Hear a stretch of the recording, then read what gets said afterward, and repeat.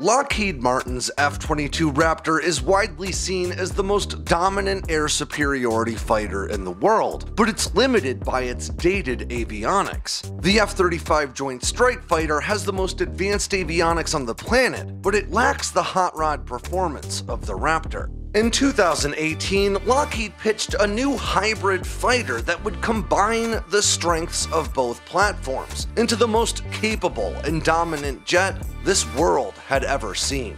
Let's talk about just how good this fighter could have been and why it never got made. I'm Alex Hollings, and this is Air Power. One,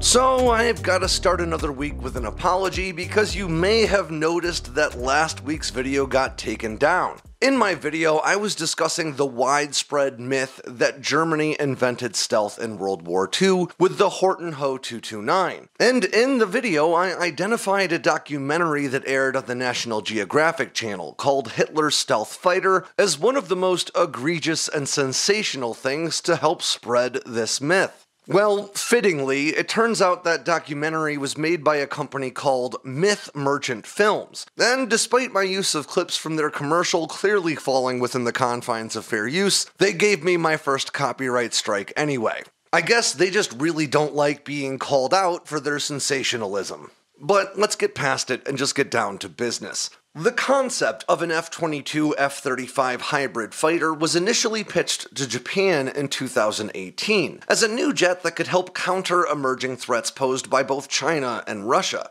But to be clear right up front, it was a losing financial proposition. As incredibly capable as this fighter would have been, it also would have been immensely expensive. With more than a quarter century now gone by since the F 22 first started flying, it just made more sense to invest all that money into an entirely new platform. And that's exactly what the US and Japan are currently doing. But the truth is, if it had made financial sense to field this hybrid fighter, it probably would have been the most capable fighter ever to take to the skies, at least until new 6th gen fighters emerged to claim the crown. America's F 22 Raptor is widely seen as the most capable air superiority fighter in history, but its dated avionics, expensive maintenance, and abbreviated production run all conspired to doom this platform to an early demise. With just 186 Raptors delivered before production facilities and supply chains were really cannibalized in favor of F 35 production, America's Raptors are an endangered species that the Air Force now expects to begin phasing out of service as soon as the early 2030s. The F 35, on the other hand, may lack the Raptor's hot rod performance, but what it lacks in horsepower, it makes up for in the most advanced data fusing suite of avionics ever fielded in a tactical aircraft. And while the capabilities offered by the F 35's computer power may not seem as sexy on paper, the advantages they provide are so pronounced that they're actively reshaping how nations approach air warfare. And the combination of these two already legendary platforms into a single hybrid fighter really could have resulted in one jet that was greater than the sum of its parts. But you guys know me, I'm not just here to write fighter fanfiction, I'm also here to provide you with some context to better understand the circumstances that led to this proposal and why it didn't come to be. As we already discussed, F 22 production was cancelled less than a third of the way through its initial order back in 2011. At the time, some 20 years since the fall of the Soviet Union, and with the US embroiled in counter terror operations in multiple theaters, American lawmakers just didn't see the value in funding all 750 Raptors originally ordered. As a result of that limited production run, America's Raptors cannot be replaced as they age out of service, or if they get shot down by enemy contact, and that ultimately means it's destined for an early demise. Older fighters, like the F 15 and F 16, don't have this problem because despite their age, they're still in active production. In February of 2017, the Air Force submitted a congressionally mandated study into the idea of restarting F 22 production. It concluded that getting the line running again and building 194 new jets would cost the government around $50 billion. That's 61 billion today. All told, each new F-22 would cost around $216 million in 2016 dollars, or 265 million today. If the production order was smaller than 94, say 75, as one separate RAND report indicated, then the cost would balloon to $266 million per fighter, or 326 million today. Compare that to the per unit price of the similarly airstrip reliant F 35A, which today sits at around 77.8 million. New Raptors suddenly don't look quite as promising. I mean, the F 22 is an incredible jet, but is one Raptor really better than three F 35s? America's long standing ally, Japan, signed on to start buying F 35s all the way back in 2011. But with Russia's Su 57 and China's J 20 both operating nearby, the nation began looking for new air superiority fighters to replace its aging fleet of F 15Js. And that's where Lockheed Martin stepped in. According to Lockheed's proposal, they could provide the nation with a hybrid fighter that combined the sensor fusing power of the F 35 with the dogfighting chops of the F 22 for just $177 million per aircraft, around 208 million today. And while the US would have to sign off on this deal, it would have real benefits for Uncle Sam too. Kickstarting production of this new fighter for Japan would allow the US to procure new hybrid fighters to supplement its anemic Raptor fleet, rather than investing in older air superiority jets like the F 15EX. And while this sounded like a great idea at the time, we're still talking about aircraft that started flying in 1997 and 2006, respectively. By 2018, when this concept was proposed, advancements in stealth, sensor technology, material sciences, and elsewhere all meant a hybrid fighter would be pretty dated by the time it started reaching American or Japanese runways. With all the costs associated with standing up a new fighter production line in mind, it just made more sense to begin clean sheet development on a newer and even more advanced fighter that would ultimately cost about the same per airframe. But for the sake of a bit of fun, let's pretend that it somehow made financial sense to field a Joint Strike Raptor.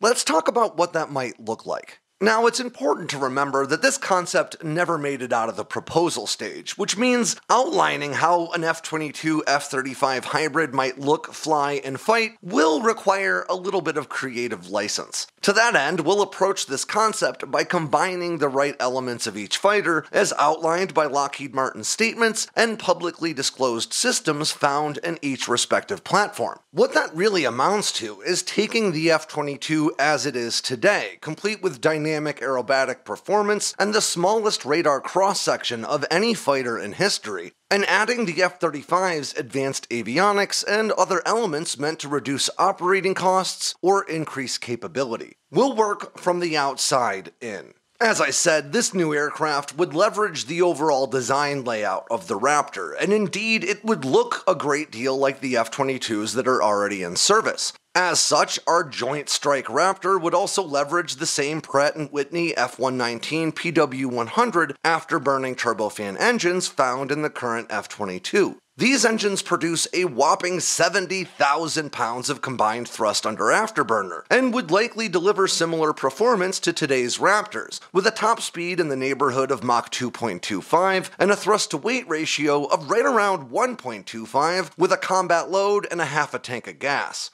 This combination of airframe design and power production would give our new hybrid fighter the same super cruise capabilities offered by today's Raptors, meaning the aircraft could sustain supersonic speeds without the use of its afterburner, conserving precious fuel for the fight and for the flight home. The thrust vector control offered by this design and engine pairing provides not only excellent aerobatic performance in a close quarters fight, but probably more importantly, an effective means of controlling the aircraft while engaging at high angles of attack. Despite the outward appearance of the F 22, our hybrid fighter would leverage advancements incorporated in the radar absorbent skin of the F 35. Radar absorbent materials are really essential for maintaining the stealth profile of a stealth fighter, with modern materials rated to absorb upwards of 70 to 80% of inbound electromagnetic energy, or radar waves. But RAM is also a huge headache. It's really susceptible to damage caused by things like heat, friction, and just exposure to the elements.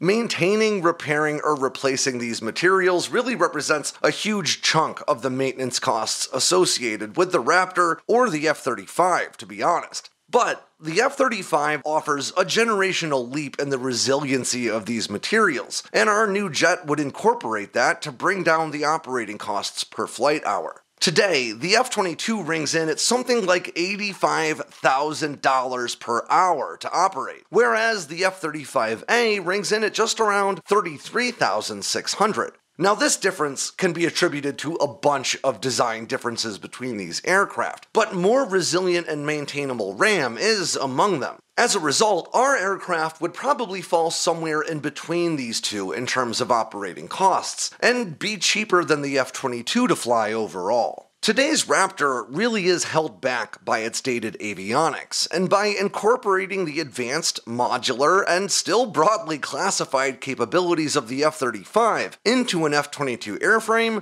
the result would be a very dangerous jet. The three most prominent operational shortcomings of the Raptor's current avionics include a lack of infrared search and track capability, the inability to target aircraft off boresight, and the platform's inability to directly network with its more modern counterpart, the F 35. Our new hybrid F 22 F 35 would solve all these issues and then some, adding significant new offensive and defensive capabilities, some of which remain undisclosed. Let's start with infrared search and track, or IRST capabilities, because they're really essential for engaging modern stealth fighters in air to air combat. IRST is, in effect, just infrared or thermographic cameras that can spot and identify the heat signatures produced by enemy fighters, even ones that are too stealthy to spot on radar. Advanced IRST systems like the Pirate and the Eurofighter Typhoon can spot subsonic fighters from more than 50 miles away when facing away from them, and more than 30 miles when approaching head on.